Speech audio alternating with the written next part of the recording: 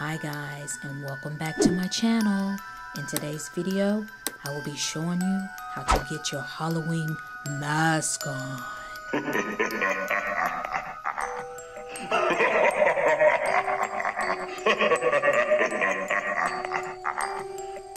but seriously, because of my love for hair masks in the fall season, I'm going to be combining the two and making a pumpkin spice hair mask.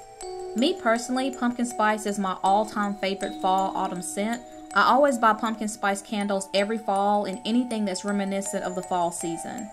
Not only do I love pumpkin spice candles, but I also love pumpkin spice scrubs, lotions, body washes, anything that's pumpkin spice scented. So today I'll be making a very simple and easy pumpkin spice hair mask for you guys. I know that your hair and your nose will absolutely love. Now for this DIY, I'll be using very few simple ingredients, but you can customize this to your liking and add to it what you think your hair needs. So without further ado, let's get started. So you may ask, how is pumpkin good for your hair? Like, what does it do? What are the benefits? So pumpkin is a great source of nutrients like vitamins, minerals, antioxidants. Pumpkins are rich in vitamin E, omega-3, omega-6, fatty acids, antioxidants, and zinc. So with that being said, it's a great promoter of hair growth, it prevents premature graying of the hair, it prevents hair loss, and it's a great hair conditioner. Next I have cinnamon. You can't have pumpkin spice without the spice.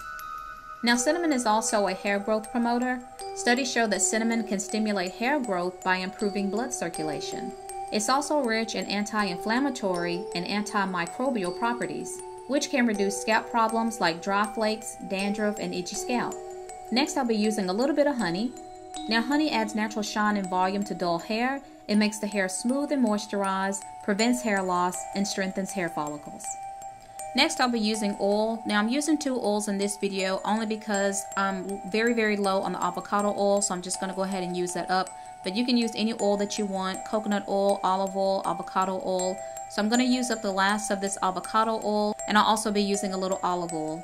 The benefits of the oil helps reduce dandruff, it prevents breakage, it helps in detangling the hair, it makes the hair soft and shiny, and specifically olive oil has antibacterial properties and antifungal properties. Now some optional ingredients you can add to this mask include your favorite Ayurvedic herb, but fenugreek is always a great one for some extra slip. You can also add a little bit of your favorite conditioner or deep conditioner. And also you can add some essential oils. So I do have a few essential oils that are fall scented, but since this is a pumpkin spice hair mask, it's only right to use the pumpkin pie essential oil. So now I'm just going to bring everything together, just blend it all up, so just keep watching.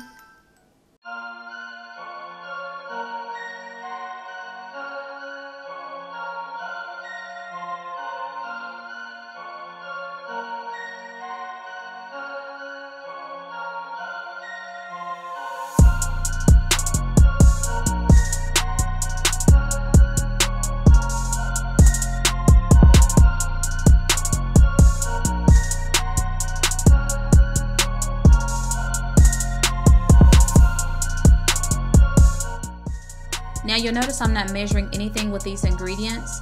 And the reason why is because I have to use the amount that works for my hair and you have to use the amount that works for your hair. You may need less, you may need more. It just depends upon your hair type and hair texture. And it also depends upon the state that your hair currently is in.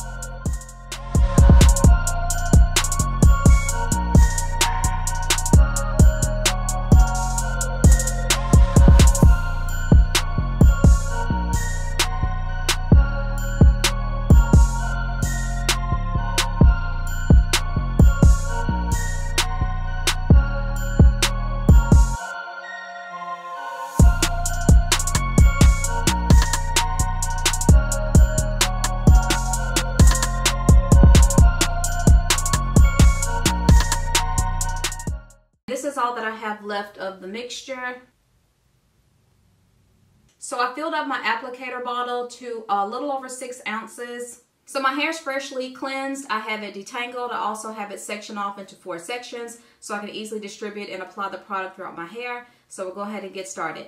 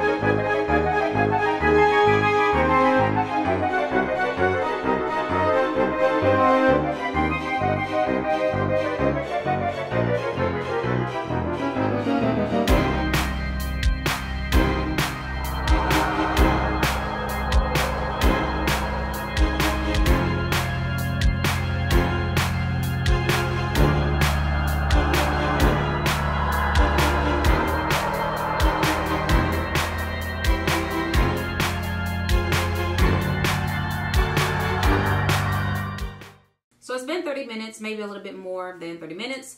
And I've taken my heat cap off and now I'm going to take off my plastic bonnet. Oh, look at these curls.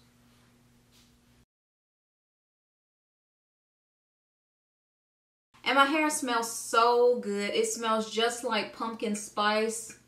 It smells like a dessert on my head or something. This mask has a lot of slip. It has amazing, amazing slip. My hair is just bouncing and it just it's just making my hair feel really good. It's really soft. So I'm gonna go ahead and wash this out and I will be right back. Woo! Okay, y'all, we washed out. My hair feels so good, so soft, so conditioned. One thing I will say about the mask is that it did rinse out of my hair like water, like it went straight down the drain. There were no clumps, there were no chunks that were in the tub when I wash it down um, the drain. I rinse my hair very thoroughly to make sure that the product is completely out of my hair. Now I do feel just a little bit of debris from the cinnamon. So do want to be careful of how much cinnamon you actually put in there. I don't measure nothing like I said earlier. So just be careful of how much cinnamon because you don't want a lot of grit still in your hair.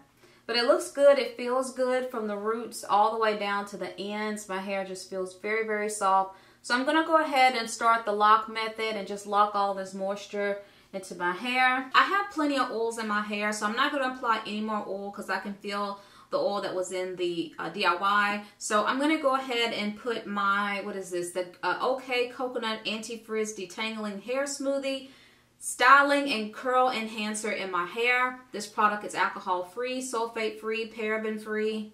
A few moments later. Ooh, I had to sit down. But anyway, I worked the curl smoothie into my hair really well just to lock in that moisture. And again, I already had oils in my hair, so I didn't need to add any more. So my hair still feels really soft, very conditioned, just very nourished. I think all I'm going to do is just put my hair into two flat twists just to kind of make this simple and easy and just straight to the point.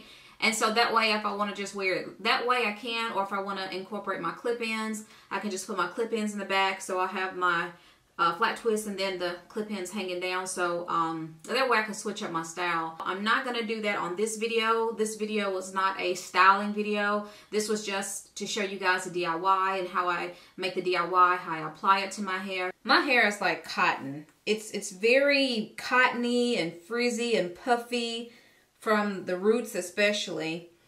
And it's just shrinkage city.